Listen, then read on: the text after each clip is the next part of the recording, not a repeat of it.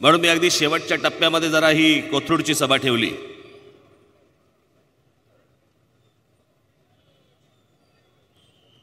एकूणच या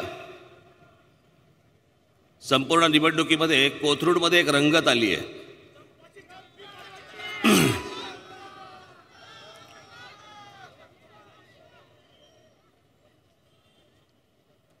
की अशा प्रकारचा एक बाहेरचा उमेदवार.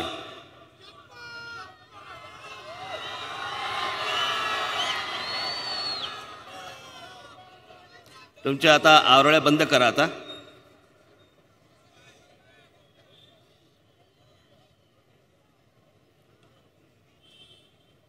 हा इथे जेव्हा लादला जातो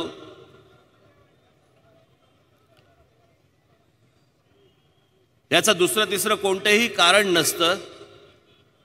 याचं एकमेव कारण असतं ते म्हणजे तुम्हाला गृहीत धरलेलं असतं.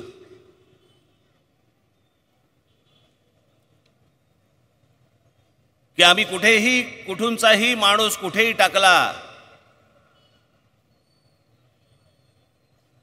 तरी भाबडी जनता त्यांना निवडून देईल.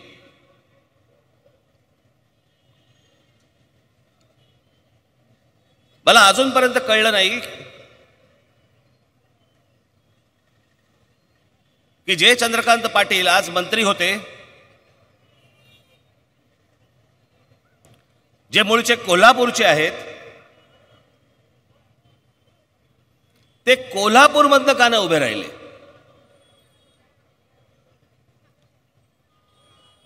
जिकडे तुमचं संपूर्ण आयुष्य ज्या कोल्हापुरामध्ये गेलं त्या कोल्हापुरामध्ये तुम्हाला उभं राहायला भीती का वाटली? आणि मग तुम्ही आज कोथरूडमध्ये निवडणूक का लढवतात? त्या दिवशी मी म्हटलं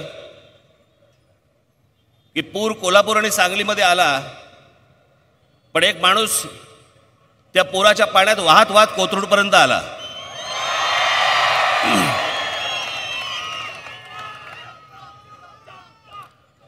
त्यातला विनोदाचा भाग सोडा.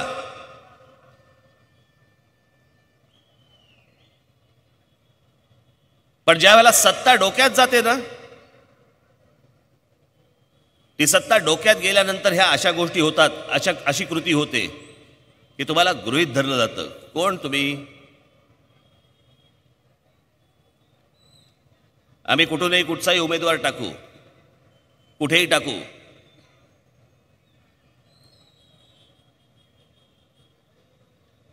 आणि मला महाराष्ट्रात काय झालंय मला कळत नाही महाराष्ट्राला.